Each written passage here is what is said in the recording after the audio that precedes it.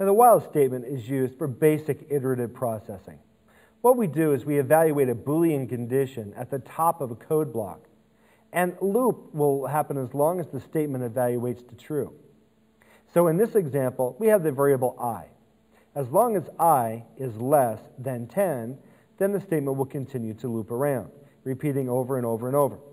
You see what we're doing here is actually incrementing the value of i with an i++. So this will continue looping around until we increment such that i is no longer less than 10. The do statement is also an iterative processing statement. However, this differs from the while in that with the do statement, the condition is evaluated at the end of the block. The nice thing about the do statement is that you're guaranteed that the code inside the block will run at least once.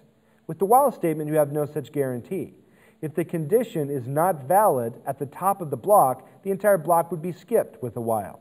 For a do, we know that the code is going to execute once, and then the while will evaluate that condition again at the bottom of the block.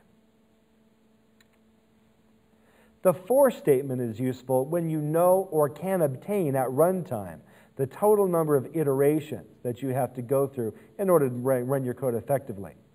When you create a for statement, you're basically going to provide three elements to the for structure, a counter variable, a Boolean condition, and an incrementation expression.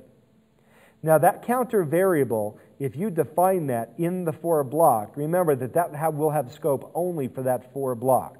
So you won't be able to use that counter variable outside of the block. That's usually more of an advantage than it is a disadvantage. Well, here's an example of a typical for statement.